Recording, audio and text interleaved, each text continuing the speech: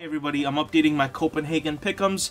Nine pandas dropped out, Gamer Legion swapped in, so here are my new picks. What I essentially did was took MongolZ out and put Gamer Legion in, so these are my picks. Go ahead and I went ahead and saved them. If you're wondering how I came to those conclusions, this is a simulator for the major.